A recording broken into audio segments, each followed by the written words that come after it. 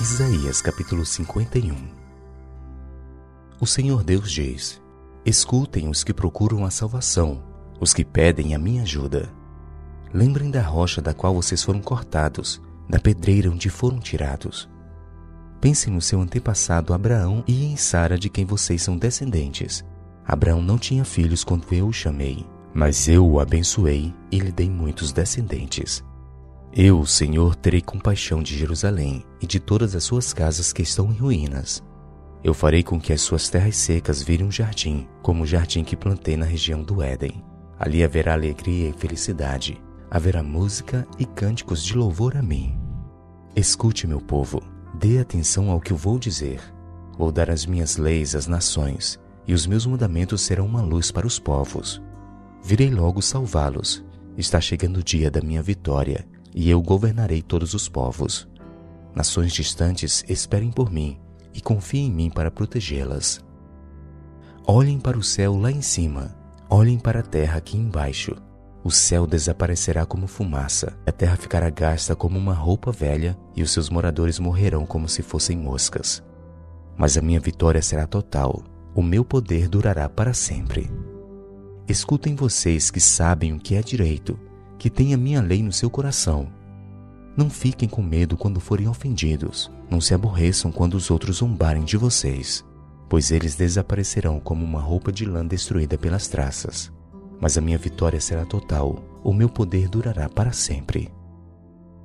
Acorda, ó Senhor, acorda! Salva-nos com teu grande poder, como fizeste antigamente no tempo dos nossos antepassados. Tu cortaste Raabe em pedaços tu mataste aquele monstro do mar. Tu fizestes o mar secar, secaste as águas profundas. No meio do mar, abriste um caminho para que por ele passasse o povo que salvaste. Aqueles a quem o Senhor salvar voltarão para casa, voltarão cantando para Jerusalém, e ali viverão felizes para sempre. A alegria e a felicidade os acompanharão, e não haverá mais tristeza nem choro. O Senhor diz ao seu povo: Eu, eu mesmo lhe dou forças então por que vocês têm medo de pessoas, de seres mortais que não duram mais do que a palha? Por que esquecem o Senhor, o seu Criador, aquele que estendeu o céu e firmou a terra?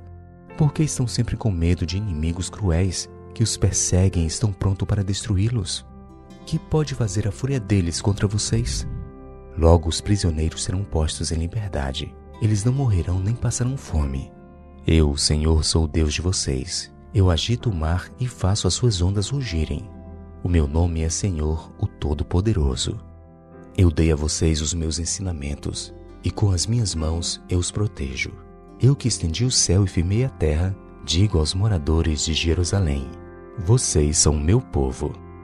Acorde, Jerusalém, acorde e levante-se. O Senhor fez com que bebesse o vinho da sua ira. Você bebeu tudo e ficou bêbada de todos os seus filhos, de todos aqueles que você criou, não houve um só que pegasse você pela mão e que o ajudasse a andar. Você sofreu duas desgraças. A sua terra foi arrasada pelos inimigos, e a guerra e a fome mataram seus moradores. Quem tem pena de você? Quem procura consolá-la?